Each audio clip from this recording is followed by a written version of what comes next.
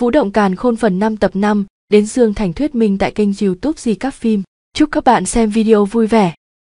Lâm Động, lần này Vương Triều Thánh Quang có ba cường giả tạo hóa cảnh đỉnh phong, nếu huynh không chống cự được thì mau chạy đi.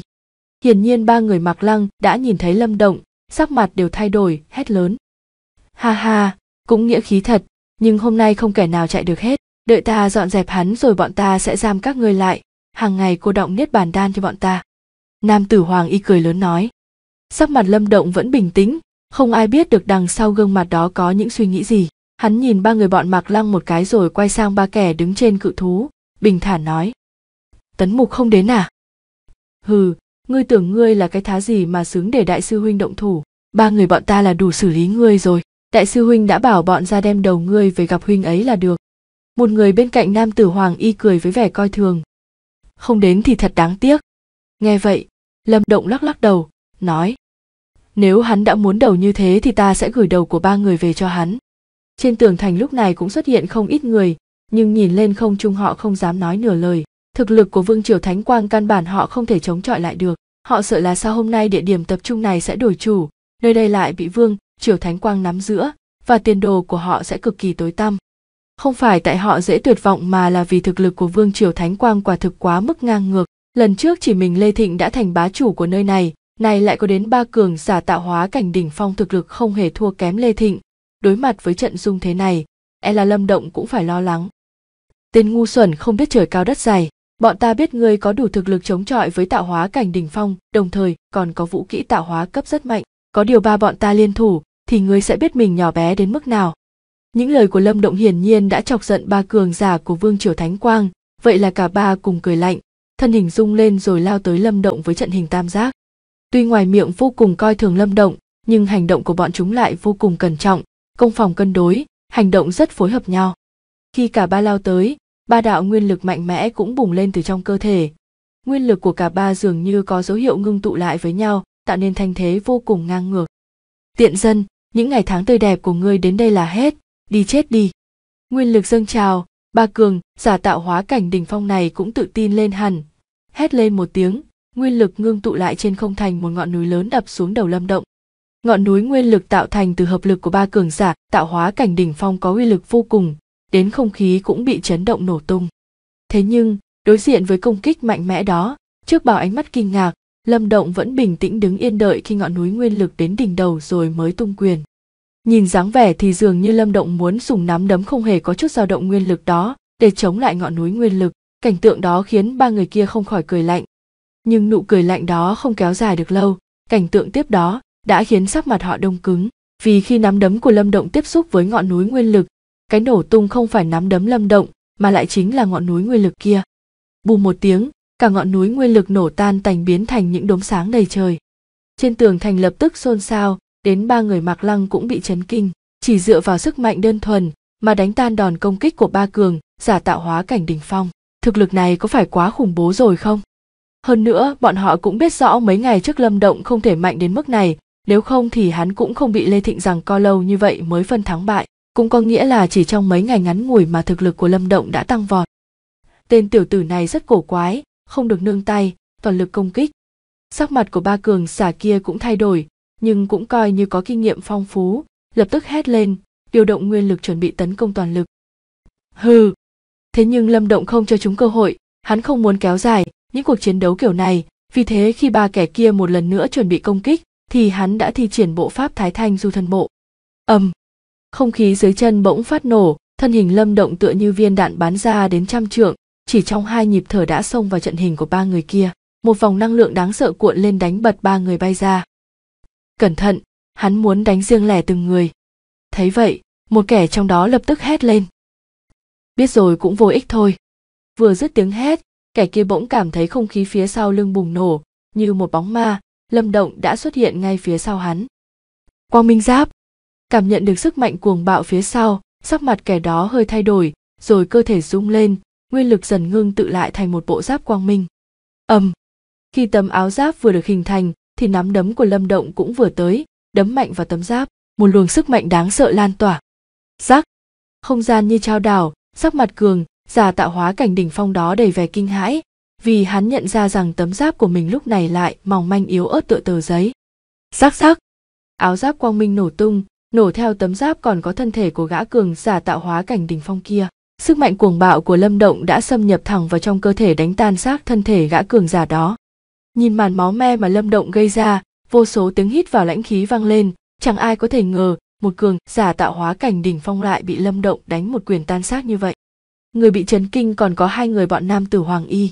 Bọn chúng không thể ngờ đồng bọn có thực lực tương đương mình lại bại dưới một quyền của lâm động. Điều này rõ ràng không khớp với tin tình báo mà chúng nhận được. Chúng được biết rằng, lâm động trải qua một trận đại chiến ác liệt mới may mắn giết được lê thắng. Vì thế, khi tấn mục phái đi, chúng mới nghĩ đây là nhiệm vụ chắc chắn sẽ hoàn thành. Nhưng giờ nhìn cảnh tượng này chúng mới hiểu tình báo hình như nhầm lẫn rồi đương nhiên, nhầm lẫn nhưng không có cơ hội để hối hận. Vì thế khi ánh mắt lạnh lùng của lâm động chiếu tới, sắc mặt bọn nam tử hoàng y tái đi, không hẹn mà cùng lùi sau rất nhanh. Chúng biết đã chứng kiến sức mạnh của lâm động, đương nhiên không muốn bị kết cục như đồng bọn. Bốp bốp. Thế nhưng, với tốc độ của chúng muốn thoát khỏi lâm động là chuyện không thể. Chỉ nháy mắt lâm động đã lao tới, tung ra hai quyền, hai đạo quyền phong hung hãn phá tan mọi chướng ngại. Cách không đánh trúng người bọn nam tử hoàng y. Khi cảm nhận được trận kình phong đáng sợ đó hai tên đó mới hiểu tại sao đồng bọn lại bị đánh tan tành như vậy. Sức mạnh này dường như có thể sánh được với cường giả bán bộ niết bàn. Phụt! Hai kẻ kia nháy mắt phun ra một ngụm máu tươi, vì đó là đòn đánh cách không nên chúng vẫn chịu đựng được một chút. Có điều sắc mặt đã tái nhợt, bắt đầy sự sợ hãi chứ không còn ngông cuồng như lúc trước. Mau đi thôi, hắn quá mạnh, chỉ có đại sư huynh mới đối phó được hắn. Hai kẻ này cũng là người quyết đoán, thấy lâm động như vậy không dám ở lại nữa, bay lên con cự thú cự thú vỗ cánh muốn thoát thân. Vút. Thế nhưng ngay khi con cự thú chuẩn bị bay đi, thì một đạo hồng quang rạch ngang chân trời, một con huyết mãng màu đỏ tươi, như máu sắc bén xuyên qua thân thể cự thú, thừa thế còn xuyên thẳng qua người hai kẻ trên đó, máu tươi bắn tung trời. Tất cả mọi người nhìn con cự thú và hai đạo thân ảnh con huyết mãng xuyên qua, nhất thời đều rơi vào trạng thái im lặng như tờ. Ba người mặc lăng cũng phải nuốt nước bọt. Ba cường giả tạo hóa cảnh đỉnh phong thậm chí không nói được mấy lời đã bị giết sạch trên bầu trời huyết mãng sắc bén khổng lồ, xuyên thấu cự thú, và cơ thể hai gã nam tử hoàng y, máu tươi, bắn lên như trời như huyết trụ, cuối cùng nhuộm mặt đất thành một màu đỏ tươi chói lọi. Người cuối cùng ra tay, đương nhiên là tiểu viêm, cái đuôi mãng vĩ của nó sau khi hấp thụ huyết mạch của viễn cổ thiên ngạc đã biến dị thành một thứ linh bảo địa cấp, không hề thua kém cây thiên ngạc cốt thương trong tay lâm động những nơi trước đuôi đó đi qua, dù là cường, giả tạo hóa cảnh đại thành cũng khó mà kháng cự. Nếu đánh lén nữa thì dù có là cường giả tạo hóa cảnh đỉnh phong cũng rất có khả năng bị nó xuyên thủng, giống như cảnh tượng vừa rồi vậy. Dao tiểu viêm vung cái đuôi sắc bén như đao của mình lên, vứt thi thể của hai kẻ kia xuống đất khiến thịt xương lẫn lộn. Lâm động thấy thế, bàn tay tóm một cái, ba chiếc túi càn khôn bay tới, cuối cùng rơi vào tay lâm động. Dùng tinh thần lực do thám một chút, lâm động khẽ cười, tài sản của ba kẻ này đúng là rất phong phú, số niết bàn đan trong túi càn khôn cộng lại cũng có đến 6.000 viên, tuy ít hơn lê thịnh nhưng cũng coi như không tệ rồi. Kiểm tra qua chiến lợi phẩm, rồi lâm động bay lên tường thành. Lúc này trên tường thành còn có một vài cường, giả tạo hóa cảnh là thuộc hạ của vương triều thánh quang. Khi nhìn thấy lâm động, thì mắt đều ánh lên sự sợ hãi, hét lên rồi chạy trốn.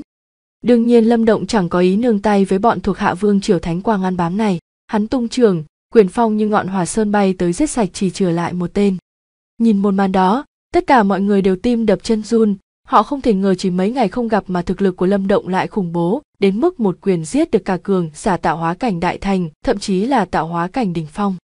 Giải quyết xong bọn người đó, lâm động xuất hiện bên cạnh ba người mạc lăng, phẩy tay một cái dây chói trên người họ đứt hết, hắn nói. Không sao chứ? Không có gì đáng ngại cả, bọn chúng tưởng huynh trốn rồi, muốn dùng bọn ta làm con tin dụ huynh xuất hiện nên không hạ sát thủ. Mặc lăng cười khổ lắc lắc đầu có lẽ chúng không thể ngờ được khi lâm động xuất hiện, thì ngay cơ hội dùng đến con tin chúng cũng không có mà bị lâm động giải quyết gọn gàng sạch sẽ. Thực lực của huynh. Đỗ vân nhìn lâm động với ánh mắt kinh ngạc, không kìm được hỏi. Ta đã tu luyện được một môn vũ kỹ mới, nên thực lực được nâng cao một chút. Lâm động cười cười rồi nói. Xem ra tấn mục rất muốn lấy mạng ta, nhưng hắn không thể đi được nên mới phái thủ hạ đến đây. Ha ha, lần này, chúng lại mất ba cường, giả tạo hóa cảnh đỉnh phong. Ta nghĩ nếu tấn mục biết được chắc chắn sợ mất mật. Man sơn cười nói. Lâm động huynh định khi nào thì đi dương thành. Mặc lăng nhìn lâm động, hắn biết lâm động lúc này chắc rất muốn đến dương thành để tranh đoạt viễn cổ bí thược ngày mai, lâm động trầm ngâm một chút rồi nói, hắn tóm lấy kẻ duy nhất còn sống sót ném về phía mặc lăng. Huynh hãy moi tin từ hắn, chúng đều là những kẻ theo đuôi tấn mục, chắc sẽ biết một số thông tin về viễn cổ bí thược ừm ba người mạc lăng gật đầu rồi chằm chằm nhìn tên cường giả vương triều thánh quang đang bị dọa cho vỡ mật, rơi vào tay bọn vương triều thánh quang. Tuy không nguy hiểm đến tính mạng, nhưng cũng đã phải chịu không ít khổ sở, giờ phải lấy tên xui xẻo này để xả hận. Sau khi giải quyết hết chỗ rắc rối này, lâm động cũng không thèm để ý đến ánh mắt của mọi người ở điểm tập trung này, trao đổi chút với ba người mặc lăng rồi trở về tháp cao. Bạn đang xem vũ động càn khôn được thuyết minh tại kênh youtube di các phim. Ngồi xuống trong tòa tháp lâm động nhìn tiểu viêm ở bên cạnh, nói chính xác thì chiếc đuôi kỳ dị của tiểu viêm đã có chút thay đổi, nhìn giống như một dải những đốt xương nối với nhau. Bên ngoài lại bọc đầy vảy lân màu đỏ tươi, những chiếc vải đó vô cùng sắc bén, tập hợp với nhau tỏa ra cảm giác rất âm u lạnh lẽo. Thứ ánh sáng âm u đó, dù là lâm động cũng cảm thấy động dung. Với thực lực hiện nay của tiểu viêm, nếu đánh lén, thì có thể giết được cường giả tạo hóa cảnh đỉnh phong. Cái đuôi mãng vĩ này không hề thua kém cây thiên ngạc cốt thương của ta lâm động thầm tán thưởng, thực lực tiểu viêm ngày một mạnh, với hắn đương nhiên là tin tốt. Ngày mai là hắn lên đường đến dương thành, ở đó cường giả vô số, ngay cả bán bộ niết bàn cũng có. Có thể trợ giúp hắn lúc này cũng chỉ có tiểu điêu, thực lực ba người mạc lăng nhiều nhất, cũng chỉ chống cự lại được cường giả tạo hóa cảnh đỉnh phong, chứ không thể chiến thắng được. Vì thế, lâm động rất mừng vì thực lực tiểu viêm đã được nâng cao. Lâm động khẽ vỗ nhẹ cái đầu to lớn của tiểu viêm, rồi nhắm mắt tĩnh tu nhưng chỉ ba giờ sau là bị bọn mạc lăng làm gián đoạn. Nghe được câu đầu tiên của mạc lăng, gương mặt lâm động thoáng hiện nụ cười. Dương thành hỗn tạp đủ loại người, muốn trà trộn vào đó và giành được viễn cổ bí thược thì không thể thiếu tin tình báo. Dương thành hiện giờ tập trung không ít cường giả từ các vương triều, mục tiêu của họ đều là viễn cổ bí thược. Xem ra viễn cổ bí tàng là một bảo tàng vô cùng quan trọng, nếu không thì không thể có sức hấp dẫn như vậy. Hiển nhiên mạc lăng có phần vui mừng nếu có được bí tàng thì họ đều sẽ có cơ hội xung kích nhất bản cảnh. Lâm động gật đầu, hắn không cảm thấy bất ngờ. Trong bí tàng có sinh tử truyền luân đan khiến tiểu điêu cũng phải thèm muốn, thì hiển nhiên đó là bảo tàng không tầm thường. Vì dương thành có quá nhiều người, ngay tên kia cũng không biết chính xác là bao nhiêu, nhưng riêng những vương triều hắn biết thì đã có bốn vương triều có cường giả bán bộ nhất bản tọa chấn, mà bốn vương triều này cũng khá nổi danh ở dương thành. Đó là vương triều đại u, vương triều thiết vương triều hải lân và vương triều thánh quang. Lâm động gật gù, thực lực c của các vương triều này vượt xa so với vương triều đại viêm, có cường giả bán bộ niết bàn tọa chấn cũng không phải chuyện gì khó tin. Hơn nữa cường giả bán bộ niết bàn chỉ có thể khiến lâm động cẩn thận hơn, chứ không thể khiến hắn e rè lâm động có huyết linh khôi, từ phi cường giả niết bàn cảnh chân chính ra mặt, nếu không thì đương nhiên không thể làm gì hắn. Trong dương thành có cường giả niết bàn cảnh chân chính không? Lâm động hơi trầm ngâm, hỏi. Còn các vương triều khác? Tuy danh khí không bằng bốn vương triều kia, nhưng thực lực cũng không yếu. Không biết được họ có ẩn giấu cường giả bán bộ niết bàn nào không? Còn về cường giả niết bàn cảnh thật sự, thì có lẽ không có. Mạc lăng trầm ngâm nói, tại chiến trường viễn cổ lúc này, chỉ cần bước vào cảnh giới bán bộ niết bàn là có thể đứng vào hàng những cường giả hàng đầu rồi. Còn cường giả niết bàn cảnh chân chính, thì e là dương thành cũng chẳng tìm đâu ra. Dương thành dù là điểm tập trung lớn nhất trong bán kính vạn dặm, nhưng nếu so với cả chiến trường viễn cổ, thì vô cùng nhỏ bé có lẽ cường giả niết bàn cảnh sẽ không xuất hiện tại đây. Lâm động không phản đối cũng chẳng đồng tình với mạc lăng. Nếu viễn cổ bí tàng, thật sự, khiến tiểu điêu cũng phải động lòng, thì cường giả niết bàn cảnh chân chính cũng khó lòng cưỡng lại được sự hấp dẫn của nó. Chẳng ai có thể khẳng định dương thành có cường giả niết bàn cảnh tiềm phục hay không. Quan sát các vương triều tranh giành rồi đến cuối cùng mới ra tay, làm ngựa ống đắc lợi. Có điều, bất luận dương thành có cường giả niết bàn cảnh hay không, lâm động vẫn nhất định phải có được viễn cổ bí thược đây không chỉ liên quan đến việc làm lại nhục thể cho tiểu điêu, lâm động còn biết, nếu hắn có được bí tàng này chắc chắn có thể xung kích niết bàn cảnh, từ đó sẽ có ưu thế trong bách triều đại chiến sẽ diễn ra một năm nữa. Không thể đếm được hết các vương triều tham gia bách triều đại chiến, trong đó càng nhiều hơn thiên tài và yêu nghiệt, không thiếu những người có cơ duyên hơn cả lâm động. Dù sao thì may mắn không chỉ mỉm cười với một mình lâm động, muốn chống chọi được với các thiên tài yêu nghiệt của các vương triều, hắn nhất định phải có sự chuẩn bị đầy đủ mà viễn cổ bí tàng thì lâm động càng không thể nhường cho người khác. Ngày mai lên đường đến dương thành, tranh đoạt bí thược. Có ý định đó đương nhiên lâm động sẽ không chút do dự. Ba người mặc lăng cũng gật đầu, không chỉ không sợ mà trong mắt họ đều ánh lên sự chờ đợi. Bọn họ rất có lòng tin vào lâm động. Trên đường đến đây, những gì lâm động thể hiện đều đã khiến họ vui mừng vì đã chọn lâm động, chứ không phải lâm lang thiên. Ô không ô, hôm sau, khi những tia sáng đầu tiên vừa chiếu xuống, trên bầu trời bỗng vang lên những âm thanh xé gió mạnh mẽ một vài người ngẩng lên nhìn, thì thấy bốn thân ảnh bay ra từ các tòa tháp, rồi đáp xuống lưng một con yêu thú hung hãn, cuối cùng đem theo cuồng phong bay về phía chân trời. Nhìn những cái bóng biến mất, trong điểm tập trung có không ít người đều cảm thán, họ biết bọn lâm động sẽ không quay lại nữa, bốn người đó sẽ đến chiến trường viễn cổ rộng lớn hơn, tranh giành nhiều tài nguyên hơn. Còn bọn họ, có lẽ từ giờ tên tuổi sẽ mờ nhạt đi trong danh sách thiên tài của các vương triều. Trên bầu trời lam nhạt, một âm thanh xé gió bỗng vang lên một đạo hồng quang xẹt qua như chớp, rồi biến mất nơi cuối chân trời. Phải nhìn thật kỹ mới biết đạo hồng quang, đó là con yêu thú khổng lồ vô cùng hung hãn. Trên người nó có mấy đạo thân ảnh đang tĩnh lặng tĩnh tọa, đó chính là bốn người bọn lâm động đang rời khỏi điểm tập trung đến dương thành. Điểm tập trung cách dương thành đến mấy ngày lộ trình, mà mấy người lâm động cũng đã đi suốt không ngừng nghỉ. Với tốc độ của tiểu viêm có lẽ hai ngày nữa là đến dương thành.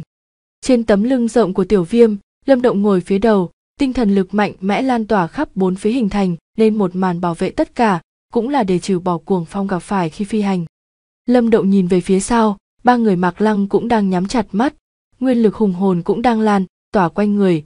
Phía trước mặt họ đều có một chùm sáng lơ lửng, mơ hồ còn phát ra luồng năng lượng mạnh mẽ. Ba chùm sáng này chính là ba cái linh bảo địa cấp.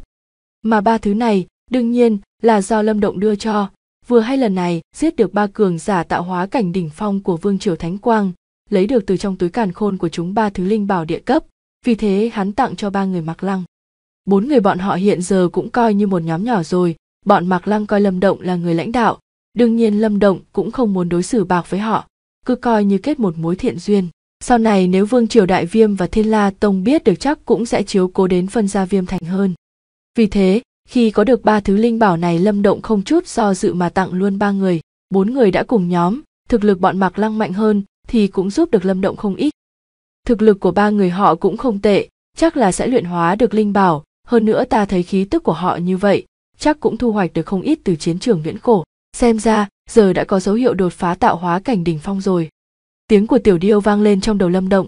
Lâm động khẽ gật đầu, thời gian ba người mặc lăng tiến vào tạo hóa cảnh đại thành lâu hơn lâm động giờ họ có dấu hiệu đột phá trước cũng không có gì lạ. Dù sao luận về lực chiến đấu, lâm động hiện giờ không phải loại mà tạo hóa cảnh đỉnh phong có thể chống cự được. Nếu họ đã sắp đột phá thì chúng ta có thể trợ giúp một chút. Lâm động nhìn ba người, tâm thần khẽ rung lên, một luồng lực thôn vệ lặng lẽ lan tỏa từ trong cơ thể. Nguyên khí thiên địa xung quanh lập tức ngưng tụ lại. Cuối cùng, trải qua sự luyện hóa của lực thôn phệ biến thành niết bản khí, không ngừng chui vào cơ thể ba người mặc lăng. Ồ đột nhiên nhận được lượng niết bản khí dồi dào như vậy, cơ thể ba người mặc lăng rung lên dữ dội, khí tức bùng lên mạnh mẽ, dấu hiệu đột phát xuất hiện. Đương nhiên, muốn đột phá thực sự thì dù có lâm động trợ giúp cũng không thể dễ dàng như thế. Một ngày đường sắp tới lâm động gần như tạm dừng tu luyện, không ngừng thôn phệ nguyên khí, để cô động thành niết bản khí truyền vào cơ thể ba người mặc lăng.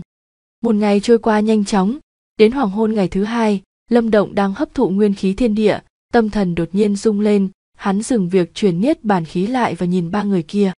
Toàn thân ba người lúc này đều có nguyên khí rào rạt, khí tức của họ cũng không ngừng mạnh hơn, chỉ trong vài hơi thở, khí tức phá vỡ ngưỡng cửa tạo hóa cảnh đại thành triệt để bước vào cảnh giới, tạo hóa cảnh đỉnh phong. Thành công rồi sao? Thấy vậy, lâm động mỉm cười. Cùng với sự lớn mạnh và ổn định dần khí tức của ba người, cuối cùng họ từ từ mở mắt ra, cái nhìn đầu tiên họ đều hướng về lâm động rồi ôm quyền trịnh trọng nói. Lâm động huynh đại ân này, bọn ta không thể cảm tạ bằng lời. Sau này có việc gì cần đến xin cứ dặn dò. Tuy ở trong trạng thái tu luyện, nhưng ba người, họ vẫn biết về tình hình bên ngoài. Họ biết nguồn niết bàn khí rồi rào kia chắc chắn không thể từ trên trời rơi xuống, mà người giúp đỡ họ hiển nhiên chỉ có lâm động. Họ đều hiểu mình ở mức nào. Nếu tu luyện thông thường, thì có lẽ ít nhất cũng phải mất nửa tháng. Vừa rồi họ đã đột phá thành công, với sự trợ giúp của lâm động, chỉ trong hai ngày ngắn ngủi mà họ đã hoàn thành bước đầu tiên hoàn toàn trở thành tạo hóa cảnh đỉnh phong, đồng thời còn ổn định vững chắc khí tức. Vì không biết lâm động có thứ thần vật như thôn vệ tổ phù nên họ nghĩ lâm động trợ giúp như thế chắc chắn đã tiêu tốn không ít niết bàn đan. Điều này khiến họ cảm thấy áy náy. Tuy bọn họ cũng có chút niết bàn đan, nhưng chỉ giữ để dùng cho việc xung kích niết bàn cảnh. Bình thường tu luyện bọn họ căn bản không dám dùng quá nhiều. Hơn nữa, họ cũng hiểu niết bàn đan quan trọng tới mức nào với chính họ cũng như lâm động. Nhưng lâm động đã vì mình mà đã bỏ ra một lượng lớn niết bàn đan tình nghĩa này khiến ba người họ thật sự cảm động từ tận sâu đáy lòng lâm động cười nói thành công là tốt rồi dương thành cường giả vô số thực lực của mọi người được nâng cao cũng giúp chúng ta chắc chắn hơn trong việc giành được viễn cổ bí thược. Với thực lực hiện nay của ba người Mạc Lăng, cộng với Linh Bảo nữa, dù có gặp bọn người Vương Triều Thánh Quang, chỉ cần không phải tấn mục, thì họ cũng sẽ không bao giờ rơi vào thế hạ phong. Ha ha, có Linh Bảo địa cấp mà Lâm Động huynh tặng, cứ cho là Vương Triều Thánh Quang vẫn còn những kẻ như Lê Thịnh, thì cũng chẳng làm gì được bọn ta. Man Sơn cười lớn, vỗ tay một tiếng, một cây cự phủ màu đen xuất hiện, khi vung lên lan tỏa một luồng sức mạnh hùng hồn. Với thực lực của mọi người hiện nay đúng là không phải sợ cường, giả tạo hóa cảnh đỉnh phong, nhưng nếu gặp phải bán bộ niết bàn thì vẫn không đủ khả năng chống chọi. Lâm Động trầm ngâm, bán bộ niết bàn tuy không phải niết bàn cảnh thật sự, nhưng thực lực lại mạnh hơn tạo hóa cảnh đỉnh phong quá nhiều. Ba người Mạc Lăng cũng chỉ có thể gật đầu cười khổ, đối mặt với cường giả bán bộ niết bàn, đừng nói là ba người họ, dù có gấp đôi cũng chẳng phải đối thủ. Ở đây ta có một đại trận, ba người có thể tu luyện, nếu dùng được thì có thể nâng cao lực chiến đấu rất nhiều, nếu gặp phải cường giả bán bộ niết bàn, dù không thắng thì cũng có thể thoát thân. Trầm ngâm một lúc, Lâm Động bỗng lên tiếng. Ồ, nghe vậy ba người mặc lăng không khỏi động dung, trận pháp gì mà có thể khiến họ có khả năng chống chọi với cường giả bán bộ niết bàn. Lâm Động cười, loại trận này đương nhiên hắn không biết, chỉ có tiểu điêu biết mà thôi. Hiện giờ người hắn có thể dùng không nhiều, ba người Mạc Lăng có được sự tín nhiệm của hắn đương nhiên hắn sẽ không keo kiệt. Nó có tên Tam Huyền Trận, ba người cố gắng nghiên cứu tu luyện, chắc chắn sẽ ích lợi vô cùng. Nói rồi Lâm Động biến đến trước mặt ba người, ngón tay điểm lên chán họ, lập tức một luồng thông tin chui từ đầu ngón tay hắn vào trong não ba người. Ba người mặc Lăng nhắm mắt từ từ thưởng thức trận pháp huyền ảo, lúc lâu sau mở mắt ra, cả ba đều lộ vẻ vô cùng kinh ngạc. Trận pháp cường hãn như thế này e là ngay cả Hoàng thất Vương Triều Đại Viêm cũng không có được. Vậy mà giờ lâm động lại tiện tay tặng họ. Nhất thời ba người đều thấy hoảng hốt. Ánh mắt nhìn lâm động có phần kỳ lạ. Đến giờ dù kẻ ngốc cũng biết lâm động không hề đơn giản như mọi người vẫn biết. Lâm động không hề để tâm đến ánh mắt kỳ dị của họ trở lại chỗ ngồi xuống rồi cười nói. Không ai biết được sau này sẽ ra sao nếu lúc nào đó chúng ta tách ra, trận pháp đó đủ để mọi người có thể tự bảo vệ mình trong chiến trường viễn cổ. Chỉ cần mọi người đừng chọc vào những đối thủ quá mạnh không thể kháng cự là được. Lâm động huynh, đa tạ. Ba người nhìn nhau, ánh mắt đầy vẻ cảm kích. Họ biết điều đó quan trọng với mình đến mức nào. Mọi người hãy thể ngộ trận pháp này trước. Với tốc độ của chúng ta chắc ngày mai sẽ đến dương thành. Ở đó có rất nhiều cường giả. Thực lực mạnh hơn phần nào thì sẽ khả năng bảo vệ mình sẽ thêm phần đó. Lâm động nói ba người mặc lăng gật đầu, rồi nhắm mắt hồi tưởng lại sự kỳ diệu của trận pháp. Khi ba người nhắm mắt, lâm động cũng dần rơi vào trạng thái tu luyện. Tam huyền trận của tiểu điêu quả thực rất mạnh. Nếu không phải vì tin tưởng, thì lâm động sẽ không giao cho ba người mặc lăng. Lâm động cũng biết rõ chắc chắn sau này, bốn người sẽ phải tách ra. Ba người họ chịu đi theo lâm động. Đương nhiên hắn cũng phải nghĩ cho họ một chút. Có tam huyền trận rồi, sau này lâm động cũng không cần quá lo lắng cho họ nữa. Cả bốn người cùng tu luyện, không khí lại trở nên yên tĩnh chỉ còn tiểu viêm là vũ cánh biến thành đạo hồng quang bay vút đi. Cứ thế, đến trưa ngày hôm sau, lâm động bỗng mở mắt, nhìn ra xa thì thấy phía cuối tầm mắt dần hiện ra một tòa thành tựa như cự thú thời viễn cổ hồng hoang. Từ trong tòa thành lan tỏa ra vô số đạo khí tức lớn mạnh đến tận chân trời. Dương thành, nhìn cảnh tượng này, ánh mắt lâm động trở nên nóng bỏng, nơi đây mới được coi là nơi tập trung thật sự của các thiên tài trong bách triều đại chiến thành thị nguy nga cổ xưa tọa lạc trên tòa núi cao nối liền nhau, giống như một con mãnh thú từ thời hồng hoang vậy, trở thành một tấm vách chắn tự nhiên, đem trời và đất phân tách ra. Bên trong thành thị, mặc dù vẫn còn cách khá xa, nhưng vẫn có thể cảm ứng được vô số đạo khí tức cường đại. So với điểm tập trung vài ngày trước, quả thật có cảm giác như vùng hẻo lánh vậy. Đây chính là dương thành sao? Quả nhiên là cường giả như mây. Ba người mạc lăng đã cảm giác thấy từng đạo khí tức cường đại phóng thẳng lên trời lập tức trên mặt cũng dâng lên chút vẻ rung động. Ở trong thành thị này chỉ e kém nhất cũng là cường giả tạo hóa cảnh tiểu thành. Dù sao, bất kể tiểu vương triều nào đi nữa, nếu như ngay cả cường giả tạo hóa cảnh cũng không đạt đến, thì cho dù có tham gia bách triều, đại chiến cũng sẽ không có tác dụng.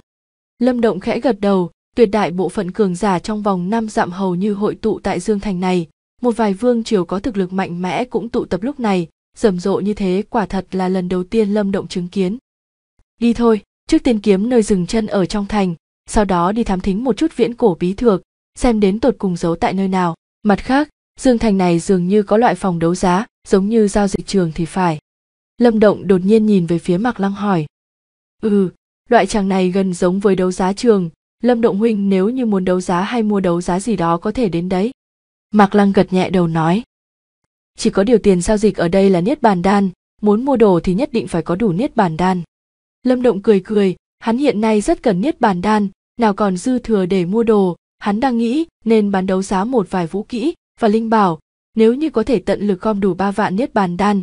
Như vậy thì đối với việc tranh đoạt viễn cổ bí thược sẽ được trợ lực rất quan trọng. Dương thành này rất thâm sâu, không ai biết ẩn tàng bao nhiêu cường giả niết bàn cành hiện nay huyết linh khôi còn chưa luyện hóa được, cũng không thể tác chiến lâu dài. Vạn nhất nếu như gặp phải chuyện phiền toái chị e sẽ khó mà giải quyết. Cho nên lâm động phải nhanh chóng đem chuyện huyết linh khôi an bài thỏa đáng. Nghĩ đến đây, lâm động cũng bất đắc dĩ lắc đầu, thấy hắn dường như thèm khát niết bàn đan đến mức phát điên rồi, lập tức vung tay một cái. Hai cánh của tiểu viêm vỗ mạnh, tốc độ đột nhiên tăng nhanh, sau đó hóa thành một đạo hồng quang lao về phía dương thành khổng lồ đằng kia. Bởi vì không muốn người khác quá mức chú ý, lúc lâm động còn cách dương thành một khoảng khá xa liền để tiểu viêm đáp xuống, đoàn người tăng tốc, sau đó cửa thành khổng lồ liền xuất hiện trước mặt bọn họ ngoài cửa thành, không ngừng có bóng người ra ra vào không ngớt, đủ loại âm thanh ầm ĩ khuếch tán ra sông thẳng lên trời. Bạn đang xem vũ động càn khôn được thuyết minh tại kênh youtube di các phim. Cửa thành tại dương thành cũng không có xuất hiện loại chuyện giống như thu phí bảo hộ gì cả. Dù sao thì nơi này cũng không phải là địa phương nhỏ bé. Phần lớn mọi người đều có chút thực lực. Muốn khiến bọn họ ngoan ngoãn giao nạp phí tổn dịp đó, thì chị e sẽ có cường giả niết bàn cành dùng vũ lực can thiệp. Hơn nữa, tất cả các đại vương triều tụ họp tại nơi này giúp nhau kiềm chế, hiển nhiên sẽ không xảy ra chuyện một nhà độc tài giống như vương triều thánh quang. Cho nên, sau khi đoàn người lâm động đi đến liền thuận lợi tiến vào trong thành, trong dương thành mặc dù không có chúa tể gì, nhưng lại có đủ loại cường hào ác bá. Hơn nữa, bọn họ đem thành thị này phân nhỏ thành các địa bàn, tự mình chiếm lấy một địa bàn. Bốn người lâm động không khó khăn gì kiếm được nơi để trú ngụ, ngược lại trong thành có chút vắng vẻ, tìm một chỗ dừng chân cũng không mất quá nhiều thời gian sau khi nghe ngóng liền đi về phía trung tâm thành thị, loại giao dịch trường chính là ở tại trung tâm thành. Bình thường mà nói, tại chiến trường viễn cổ không có quy tắc gì, chỉ có điều trên thế giới này, bất kỳ chỗ nào có người thì nơi đó đều có quy tắc tồn tại, mặc dù mạnh được yếu thua là ngang ngược nhất, nhưng nó vẫn được xem là quy tắc. Mà mức độ an toàn của giao dịch trường ở dương thành hiển nhiên kém xa so với đấu giá trường ở bên ngoài. Ở nơi này không có đấu giá sư, muốn đấu giá đồ đạc của mình thì chính ngươi phải tự hò hét giới thiệu bởi vậy không có người bảo hộ người bán hàng giống như phòng đấu giá. Nơi này không hề thiếu chuyện những kẻ xui xẻo, để lộ bảo vật sau đó bị người khác cưỡng ép cướp đoạt. Quy tắc của nơi này là mạnh được yếu thua, không có thực lực thì không có tư cách có được bảo bối. Giao dịch trường ở dương thành dù sao cũng là nơi tương đối có nhân khí, bởi vậy lúc bốn người lâm động đến đây, đập vào mắt là cả biển người đông nghịt. Bốn người lâm động khi tiến vào trong giao dịch trường liền hao phí mấy chục niết bàn đan để đổi lấy một cái thạch bài có khắc số, mà dựa theo thạch bài bọn hắn đến chỗ ngồi của mình và ngồi xuống. Lúc này lâm động mới có thời gian quét mắt nhìn xung quanh, lập tức ánh mắt trượt ngưng lại, hắn có thể thấy bên trong giao dịch trường này có không ít khí tức mạnh mẽ. Bán bộ niết bàn. Nhìn thấy khí tức cường hãn như vậy, trong mắt lâm động cũng xẹt qua một tia kinh dị, không ngờ mới đến dương thành liền có thể nhìn thấy cường giả bán bộ niết bàn. Những vương triều lớn mạnh tại dương thành, toàn bộ đều có cường giả bán bộ niết bàn tọa chấn, chỉ có điều người của vương triều thánh quang có lẽ không ở nơi này nhìn thấy ánh mắt của lâm động mặc lăng thấp giọng nói. Vậy cũng chưa chắc. Nghe thấy vậy, lâm động cười nhạt một tiếng, sau đó ánh mắt của hắn nhìn về phía dãy ngồi chữ thiên. Tại nơi đó, có mười mấy đạo thân ảnh, một người trong đó lẳng lặng ngồi yên trên ghế đá, người này một thân bạch y, sắc mặt hờ hững, trong tay chậm rãi xoay chuyển một quả cầu bằng ngọc, một loại nguyên lực ba động cực kỳ sắc bén như ẩn như hiện tràn ra. Đạo thân ảnh này, lâm động cũng không hề xa lạ gì bởi vì ngày đó quang ảnh từ trong bạch tượng bay ra cũng giống như vậy, mặc dù chỉ là ánh sáng hơi mơ hồ, nhưng cũng đủ để lâm động nhận ra. Người này chính là cường giả đã bước vào bán bộ niết bàn của vương triều thánh quang, tấn mục. Người này là tấn mục. Theo ánh mắt của lâm động, ba người mặc lăng cũng nhìn về phía nam tử lạnh nhạt mặc bạch y, lập tức sắc mặt có chút thay đổi. Hiển nhiên không nghĩ rằng vừa mới đến dương thành không đến nửa ngày liền chạm mặt với tấn mục, đúng thật là oan ra ngõ hẹp. Cũng không cần quá lo lắng tấn mục cũng không nhận ra chúng ta. Hơn nữa người hắn phải đến đều bị người giết sạch. Hắn căn bản không có khả năng nhận ra chúng ta. Đỗ vân thấp giọng nói. Lâm động cười cười, từ chối cho ý kiến. Mặc dù ở nơi này gặp phải tấn mục, chỉ có điều hắn cũng không quá lo lắng. Cho dù tên kia có thật sự nhận ra hắn, thì hắn cũng không sợ chút nào. Hiện nay hắn đã là tiểu niết bàn kim thân. Vì vậy, nếu quả thực động thủ thì tấn mục cũng chưa chắc có thể thắng được hắn. Chư vị, kiện bảo giáp hắc linh này của ta là linh bảo địa cấp đủ để chống đỡ công kích toàn lực của cường giả tạo hóa cảnh đại thành. Hơn nữa, trong linh bảo này còn có một trận pháp đặc biệt, có thể chống đỡ một số áp chế nguyên lực trong cơ thể đối với nhân loại vào lúc ban đêm tại chiến trường viễn cổ. Mặc linh bảo này cùng người khác giao thủ vào buổi tối nhất định có thể thắng năm ngàn niết bàn đan giá khởi điểm. Lúc ánh mắt lâm động từ trên người đội ngũ vương triều thánh quang thu hồi lại, cách đó không xa, một người đứng dậy, trong tay cầm một kiện khải giáp màu đen, phía trên áo giáp có một đoàn năng lượng ba động hùng hậu tràn ra. Linh bảo địa cấp mà người này lấy ra cũng không tệ, đặc biệt là có thể chống đỡ được hiệu ứng áp chế lúc ban đêm trên chiến trường viễn cổ càng khiến một số người thèm thuồng, vì thế kiện linh bảo này được không ít người tranh đoạt. Cuối cùng, linh bảo này bị một người ra giá 7.000 niết bàn đan liền đem bỏ túi. Mà tiếp theo đó, cũng liên tiếp có người theo trình tự chuẩn bị đồ mình đấu giá, trong đó có một số người bán được giá tốt, nhưng lại có một số người không có ai hỏi thăm gì tới, chỉ có thể hậm hực thu hồi. Đối với những bảo bối đấu giá của những người đó, Lâm Động cũng có chút hứng thú, nhưng cuối cùng vẫn không ra tay, niết bàn đan của hắn vốn không nhiều, đã vậy còn bị hắn xài hết rồi.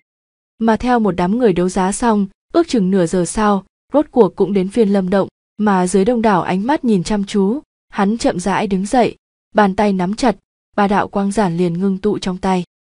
Ma vân âm sát trường, vũ kỹ chuẩn tạo hóa cấp, giá đấu giá, bốn ngàn niết bàn đan. Đại hoang phân hải ấn, vũ kỹ chuẩn tạo hóa cấp, tu luyện đến đại thành có thể sánh với vũ kỹ tạo hóa cấp hạ đẳng, giá đấu giá, 5.000 niết bàn đan. Đại nhật lôi thể, vũ kỹ luyện thể, tu luyện đến đại thành có thể sánh với vũ kỹ luyện thể tạo hóa cấp, cùng cảnh giới khó tìm địch thủ, giá đấu giá, một vạn niết bàn đan. Ba vũ kỹ này là do tiểu điêu tiện tay cấp cho Lâm Động, mấy loại này đều được Lâm Động tu luyện qua, chỉ có điều phần lớn đã bị lỗi thời, dùng để bán đấu giá thì lại rất thích hợp. Vũ kỹ tạo hóa cấp, cho dù với tuyệt đại đa số người ở đây mà nói cũng là vật khó có được, dù sao thì mạnh mẽ như Vương Triều Thánh Quang cũng chỉ có vũ kỹ tạo hóa cấp trung đẳng mà thôi. Bởi vậy, lúc nhìn thấy một mình Lâm Động xuất ra ba loại có thể sánh với vũ kỹ tạo hóa cấp một lúc, giao dịch trường không tránh khỏi có chút bạo động. Đặc biệt là đại nhật lôi thể cuối cùng, càng hấp dẫn không ít ánh mắt nóng rực, vũ kỹ luyện thể vốn thưa thớt, hơn nữa đối với tu luyện, rất nhiều người đều xem trọng, dù sao thì lúc trùng kích niết bàn cảnh hay vượt qua niết bàn kiếp đều cần phải đủ cường đại để chống đỡ, cho nên đại nhật lôi thể vừa xuất hiện, ngay cả một số cường giả bán bộ niết bàn cũng có chút động tâm, chỉ có điều giá cả thì hơi có chút đắt đỏ. Bên trong giao dịch trường, sau khi yên tĩnh trong chốc lát liền có người liên tiếp ra giá, mà sắc mặt Lâm Động vẫn bình tĩnh cho đến khi ra giá kết thúc. Mà lúc Lâm Động đợi ra giá kết thúc, Tấn Mục tại phía trên chỗ ngồi cũng chậm rãi cúi đầu, đem ánh mắt chuyển về phía thân ảnh Lâm Động, sau đó cặp mắt giống như độc xà của hắn dần dần nheo lại thành một đường. Tiếng hô giá bên trong giao dịch trường vang lên liên tục, ba loại vũ kỹ Lâm Động lấy ra đều xem như không tệ, đặc biệt là đại nhật lôi thể, càng khiến không ít người thèm thuồng, chỉ có điều cái giá một vạn quá đắt đỏ, khiến cho người khác có chút chuồn bước. Hết lượt ban đấu giá đầu tiên, Ma Vân âm sát trường và Đại Hoang phân hải ấn được một người dùng 5.000 niết bàn đan mua thành công, mà người tiếp theo cũng đã ra giá 6.000 niết bàn đan, được tổng cộng một vạn một nghìn nhất bản đan. Điều này khiến Lâm Động âm thầm có chút tặc lưỡi, xem ra vũ kỹ tạo hóa cấp ở nơi này vô cùng được hoan nghênh. Lâm Động đưa vung tay ném quang giản đại hoang phân hải ấn về phía người ra giá, quang giản xẹt qua giữa không trung, trong mơ hồ không khí như bị xé rách, mà người ra giá sau khi chụp lấy, lực lượng khổng lồ nhập vào tay khiến thân thể hắn chấn động mạnh. Ngay lập tức, vẻ mặt của người đó có chút biến đổi, vốn hai mắt lóe lên quang mang liền nhanh chóng biến mất, sau đó lấy ra một cái túi càn khôn ném về phía Lâm Động. Tiếp nhận túi càn khôn, Lâm Động nhìn quét qua, sau đó mới khẽ gật đầu, quy tắc nơi này có chút tầm thường, thực lực vi tôn. Hắn biết rõ người này trong lòng chắc chắn có suy nghĩ gì đó không tốt, nếu như không phải Lâm Động âm thầm ra tay chấn nhiếp, chị e hôm nay không thể khiến tên này sảng khoái móc ra nếp bàn đan như vậy. Mà sau khi đem đại hoang phân hải ấn bán đấu giá xong, trong tay Lâm Động chỉ còn lại đại nhật lôi thể, nhưng bởi vì giá tiền đắt đỏ nên nhất thời không có ai mở miệng, chỉ khi từ trong mắt những người này nhìn thấy từng đạo lửa nóng thì Lâm Động liền biết rõ có không ít người hứng thú với nó. Chư vị, đại nhật lôi thể của ta chia làm ba tầng, đồng lôi thể, ngọc lôi thể, đại nhật lôi thể. Tu luyện đến tầng đại nhật lôi thể thì thân thể sẽ trở nên cực kỳ mạnh mẽ, cùng cảnh giới khó kiếm địch thủ. Một vạn niết bàn đan cũng không tính là đắt. Ai nếu như có hứng thú thì cứ mở miệng. Âm thanh của Lâm Động bình thản, sau đó quay trở về giao dịch trường. Ha ha, vũ kỹ luyện thể này ta ngược lại cảm thấy hứng thú, giá tiền mặc dù không thấp, nhưng có lẽ cũng đáng được như vậy. Ta liền đi trước làm viên đá giò được, một vạn một một nghìn viên nhất bàn đan. thanh âm của lâm động vừa dứt một đạo tiếng cười vang lên ánh mắt lâm động nhìn lại chỉ thấy ngồi ở vị trí trên cùng có một nam tử mặc áo lam mỉm cười nhìn hắn ánh mắt lâm động liếc qua nam tử áo lam này trên người hắn lực lượng ba động vô cùng cường đại hắn hiển nhiên là một cường giả đã tiến vào bán bộ niết bàn chỉ có điều khiến hắn thoáng kinh ngạc đó là không hiểu tại sao nam tử áo lam này sau khi mở miệng thì xung quanh lại có vài ánh mắt thương hại nhìn về phía mình. Người này hẳn là hải sa của hải vân vương triều, tiếng xấu của hắn rất vang dội ở dương thành, mà quan trọng nhất là người này mua đồ gì cũng rất ít khi trả thù lao, hắn từ trước đến nay đều muốn người khác chủ động, đưa cho hắn. Sắc mặt mạc lăng hơi đổi, chợt vội vàng thấp giọng nói với lâm động. Nghe vậy, sắc mặt lâm động không đổi chỉ có điều trong mắt tràn ngập lãnh tiếu, hắn cũng mặc kệ danh khí của người này vang dội như thế nào ở dương thành, nếu như quả thật dám ăn cơm chùa của hắn, vậy hắn cũng chỉ có thể khiến cho gã hiểu rằng lần này thứ mà gã gặm không phải quả hồng mềm, mà là một khối sắt cứng. Hắc, mặc dù thiên thiết chi thân của vương triều thiên thiết cũng không thua đại nhật lôi thể nhưng ta quả thực muốn dùng để tham khảo một chút, một vạn hai ngàn viên niết bàn đan. Mà đang lúc trong mắt lâm động xẹt qua một tia lãnh tiếu thì một tráng hán có làn da ngăm đen cười quái dị nói, trên thân thể người này lóe lên vẻ sáng bóng giống như kim loại, thoạt nhìn giống như một khối sắt vô cùng cứng rắn vậy. Nhìn nam tử có làn da ngăm đen này, lông mày của nam tử áo lam hơi nhíu lại, cũng không thèm để ý, nhìn về phía lâm động, thản nhiên nói. Ngươi muốn bán cho ai? Lời nói của hắn tuy bình thản, nhưng trong mơ hồ vẫn có chút lạnh lẽo tràn ra, có chút mùi vị uy hiếp. Nghe thấy lời này của nam tử áo lam, trong giao dịch trường cũng thoáng an tĩnh lại một chút những ánh mắt nhìn về phía lâm động đều tràn ngập thương hại. Thân ở giữa hai đại vương triều, bất luận hắn đem vũ kỹ này bán cho ai, cũng sẽ đều đắc tội với một bên khác. Thế nhưng, lâm động đối với những ánh mắt thương hại kia đều làm như không thấy. Hơn nữa, hắn phảng phất như nghe không hiểu ý tứ ẩn chứa trong lời của hải sa. Âm thanh vẫn bình thản như cũ nói. Ai ra giá cao thì ta bán cho người đó. Lâm động vừa nói xong, không ít người đều có chút ngạc nhiên. Chợt âm thầm lắc đầu. Người này thật sự là không biết sống chết thật sự xem nơi này cũng công bằng giống như những phòng đấu giá ở bên ngoài sao. Ha ha, hải sa, xem ra lần này cũng có người không sợ ngươi à. Đối với câu trả lời của lâm động, ánh mắt của đại hán có làn da ngăm đen trượt lóe lên, cười to nói. Một vài vương triều xung quanh cũng tò mò nhìn một màn này. Bình thường thì có rất ít người dám không nề mặt hải sa, không nghĩ rằng hôm nay lại có một tên lạ lẫm dám không khách khí. Vẻ mặt hải sa lạnh nhạt, thân người hắn dựa vào ghế đá hắn dường như không nghe thấy câu trả lời của lâm động, thản nhiên nói. Ngươi đã để mất một cơ hội có thể kiếm lợi nhuận, bây giờ ta cho ngươi một nghìn niết bàn đan, đem vũ kỹ này giao cho ta. Xem ra hôm nay không ai có thể mua được vũ kỹ luyện thể rồi, đã như vậy thì cũng chỉ có thể kết thúc công việc thôi. Lâm động cười cười, bàn tay đảo một cái, quang giản liền biến mất. Đối với lời nói của hải sa, hắn cũng không thèm quan tâm. Nhìn thấy hành động của lâm động, thân thể hải sa chậm rãi nghiêng về phía trước trong hai mắt, hàn ý lạnh lẽo bắt đầu dâng trào. Chờ đã. Thế nhưng, lúc hải sa sắp đứng dậy, một giọng nói đột nhiên vang lên, đông đảo ánh mắt nhìn lại, cuối cùng dừng lại trên người nam tử áo trắng. Tấn mục, thế nào? Ngươi cũng hứng thú với vũ kỹ luyện thể này à? Nhìn thấy nam tử áo trắng này, hải sa nhướng mày nói. Ha ha, cũng không phải hứng thú với vũ kỹ luyện thể này, ta cảm thấy hứng thú với người này hơn. Tấn mục cười nhạt nói sau đó ánh mắt của hắn chăm chú nhìn vào lâm động, nói, ngươi có thể đến đây, xem ra người ta phải đến có lẽ đều bị người giết chết rồi. Chỉ có điều không thể không nói, lá gan của ngươi rất lớn, dám giết người của vương triều thánh quang ta, không ngờ lại còn dám xuất hiện trước mặt ta. Không biết là ngươi cho rằng ta không nhận ra ngươi, hay là ngươi thật sự quá tham lam nữa. Mặc dù ngươi đã xóa đi tinh thần lạc ấn ta lưu lại trong bạch tượng, chỉ có điều vẫn khó có thể xóa đi ba động năng lượng trong đó. Ồn ào nghe thấy lời nói của tấn mục, không ít người xung quanh đều đem ánh mắt kinh dị nhìn về phía lâm động. Hiển nhiên không ngờ, hắn lại dám giết người của vương triều thánh quang. Người ở dương thành này, không ai không biết tấn mục là người có thủ tất báo. Xem ra hôm nay chạy trời không khỏi nắng rồi. Ha ha, thú vị, tiểu tử này đúng là một kẻ to gan lớn mật. Hải sa thoáng kinh ngạc, chợt khẽ cười nói. Đã như thế, vậy chuyện lần này cứ để tấn mục huynh giải quyết. Vũ kỹ luyện thể ta sẽ dùng một vạn niết bàn đan mua lại trong mắt hải sa, lâm động chẳng qua chỉ có thực lực tạo hóa cảnh đại thành, gần như chỉ cần lật tay một cái cũng có thể giết chết. Với thân phận của gã, muốn mua vũ kỹ trong tay lâm động có thể xem như là đã nể mặt hắn rồi. Nhưng không ngờ lâm động lại không để mặt hắn, như thế nào có thể không khiến hắn khó chịu được? Thế nhưng, đối với từng đạo mục quang xung quanh và ánh mắt của tấn mục, lâm động giống như không nghe thấy gì. Cất kỹ quang giản ngừng đầu nhìn về phía tấn mục, nói, những tên phế vật ỷ thế hiếp người giết thì cứ giết, miễn để đi theo bên cạnh ngươi, khiến ngươi rước phải đại họa. Cho dù bọn chúng là phế vật, nhưng cũng không phải là hạng người như ngươi có thể động tới được. Tấn mục cười nhạt một tiếng, nói, ngươi ngay tại đây tự sát đi, bằng không rơi vào tay ta, ngươi sẽ sống không bằng chết. Thật không biết ngươi đến tột cùng là lấy tự tin từ đâu, chẳng lẽ bởi vì ngươi có thực lực là bán bộ niết bàn sao? Lâm động bất đắc dĩ lắc đầu, những người của đại vương triều này đều thích ra vẻ cao cao tại thượng như vậy ta cho ngươi cơ hội, mà ngươi lại không biết nắm chắc. Tấn mục nhìn chằm chằm lâm động, một lát sau, nụ cười trên mặt chợt tắt, hắn chậm rãi đứng dậy hư một tiếng, thân thể chấn động, lập tức khí tức giống như cuồng phong đột nhiên từ cơ thể bạo tràn ra, trong chốc lát đã bao phủ cả giao dịch trường. Nhìn thấy một màn này, đám người gần khu vực của lâm động trong giao dịch trường lập tức ầm ầm giạt ra một vòng lớn, ánh mắt nhìn về phía lâm động tràn ngập thương hại, vô cùng cùng thương hại. Người này đến đấu giá rước phải tai họa quả thật là xui xẻo vô cùng. Ba người mặc lăng nhìn chăm chú lâm động, ánh mắt cảnh giác nhìn đám người tấn mục. Bọn hắn mặc dù biết sớm muộn cũng sẽ nảy sinh xung đột với tấn mục, nhưng không nghĩ rằng vừa tiến vào dương thành đã trực tiếp đối mặt rồi.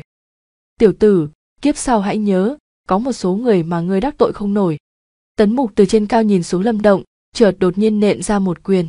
Nguyên lực khổng lồ tràn ra, trực tiếp ngưng tụ thành một con liệp báo lao tới mang theo khí tức hung hãn đủ để giết chết bất kỳ cường giả tạo hóa cảnh đỉnh phong nào. Cứ như vậy ầm ầm lao về phía lâm động.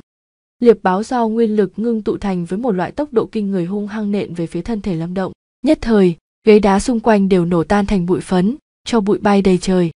Thấy vậy không ít người đều lắc đầu, tên này ngay cả tiếng kêu thảm thiết cũng không kịp phát ra nữa. Hắn không chết. Thế nhưng, ngay lúc một số người thầm cảm thấy hả hê thì, đột nhiên một đạo âm thanh kinh ngạc vang lên lúc này, từng đạo ánh mắt vội chuyển qua, quả nhiên nhìn thấy lúc cho bụi dần tiêu tán, một đạo thân ảnh vẫn lẳng lặng đứng thẳng, bộ dáng này phảng phất như một quyền đủ, để giết chết bất kỳ cường giả tạo hóa cảnh đỉnh phong nào của tấn mục lại không hề tạo thành chút thương tổn đối với lâm động. Một màn này khiến không ít người xem cảm thấy không thể tin nổi. Hải sa thấy vậy, đồng tử cũng hơi co lại, giờ mới hiểu rằng, cái tên có thực lực tạo hóa cảnh đại thành này dường như có chút bản lĩnh. Dưới từng đạo ánh mắt kinh dị đạo thân ảnh chậm rãi đi ra thanh âm bình thản của lâm động cũng mang theo lãnh ý nhàn nhạt, nhạt ta đã nói rồi bằng vào thực lực bán bộ niết bàn của ngươi còn chưa đủ tư cách nói với ta như vậy. Vương triều thánh quang ngươi trong mắt ta chẳng là cái gì cả. Giết thì giết ngươi nếu như không phục thì hôm nay giết luôn cả ngươi. Kết thúc tập này ở đây nha mọi người. Nếu không tìm thấy tập cần nghe các bạn vào danh sách phát để xem nhé. Lin tiểu muội để ở bên dưới phần mô tả đừng quên ấn like và đăng ký kênh di các phim để cập nhật những video mới nhất nhé. Cảm ơn mọi người.